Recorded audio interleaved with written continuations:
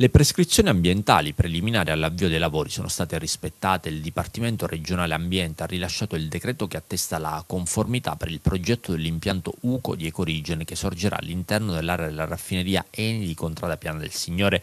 L'investimento riguarda il trattamento degli oli di cottura esausti per rigenerarli e destinarli al processo produttivo della Green Refinery.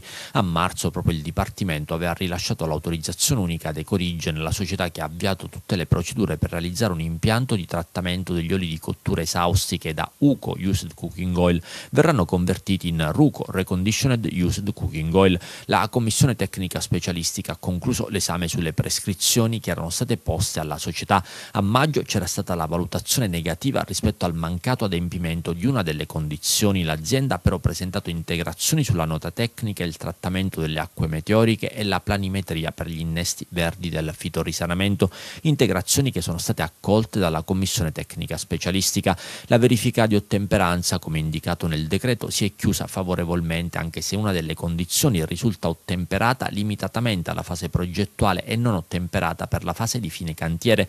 Così si legge nel provvedimento. Il decreto firmato dall'assessore regionale Toto Cordaro riporta comunque che si attesta l'esito positivo della verifica di ottemperanza delle condizioni ambientali relative alla fase definita ante operam. La trasformazione degli UCO in Ruco nel processo di rigenerazione assicurerà supporto energetico ad un impianto centrale nel ciclo green di raffineria, il POT-BTU. Le attività predisposte nel progetto si svilupperanno in aree interne al sito di raffineria, l'isola 13 e l'isola 9, dove si prevede un punto per l'arrivo di UCO via terra.